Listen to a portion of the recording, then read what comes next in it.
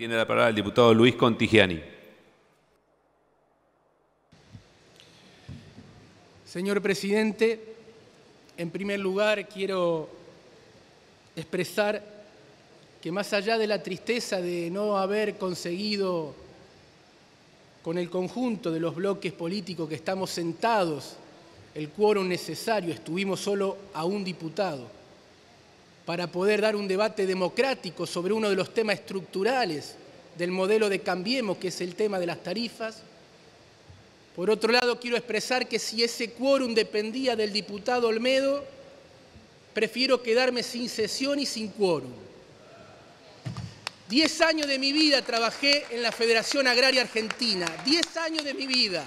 Conozco muy bien el pédrigue del señor diputado Olmedo, con lo cual si depende de él del quórum, que se quede tranquilo, laburemos sin quórum y sesionemos como lo estamos sesionando. Señor presidente, Señor presidente, decía que el tema de las tarifas es uno de los temas estructurales de este gobierno. El ajuste a los jubilados, las tarifas, la inflación, la pérdida de poder adquisitivo en dos años del salario registrado en la Argentina, el achicamiento del mercado interno y las importaciones van configurando un modelo de primarización de la producción argentina, de concentración económica, y de pérdida de trabajos y de desindustrialización de la Argentina. La tarifa es, desde el primer semestre del 2016, una de las variables de esa configuración de ganadores y perdedores de un nuevo modelo productivo en la Argentina. Pero además es el vehículo donde le transfieren millones y millones de recursos económicos de la mayoría de los argentinos a unas pocas empresas que todavía tienen que dar explicaciones y sería bueno que la den en este Congreso de qué están haciendo con esos recursos que reciben de la mayoría de, los argentinos con el aumento de las tarifas, cuáles son sus planes de inversión, qué estamos haciendo con ese dinero y ese recurso.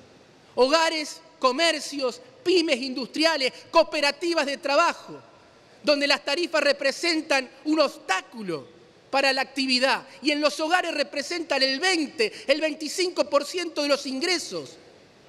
Señor presidente, en el año 2015 el Fondo Monetario Internacional nos dijo claramente en un estudio, está en las redes sociales, se puede leer, que es mentira que las tarifas tienen que tener un valor de mercado. Eso es una posición de sectores dominantes, empresarios generadores de la energía en el mundo. Las tarifas están subsidiadas en todo el planeta. Y además de estar subsidiadas, tienen que estarlo en, dirección a la política de desarrollo de un país. Lo que define el valor de una tarifa es la política de industrialización y desarrollo. Claro, si la política de este país no tener industria, no tener trabajadores, la tarifa va a tener un valor de mercado. Claramente vamos por ese camino. Señor presidente, la democracia tiene que discutir estos temas.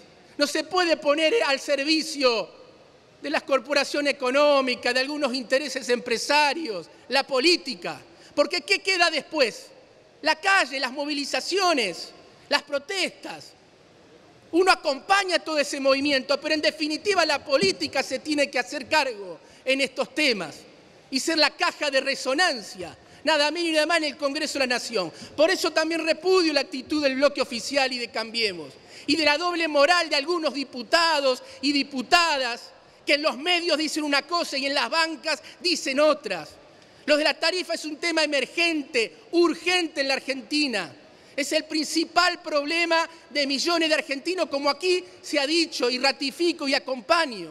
Pero también quiero expresar que tenemos que mirarlo con una mirada integral que hace una política de desarrollo, que hace una política de distribución del ingreso y demás. La tarifa en la Argentina fue cooptada en estos tiempos por los intereses empresarios generadores de la energía que no están invirtiendo, aunque me gustaría que me lo expliquen en qué y cómo y dónde, que no están invirtiendo. Las tarifas se han convertido en una política de cooptación de fondos de la mayoría de los argentinos y pérdida también de poder adquisitivo.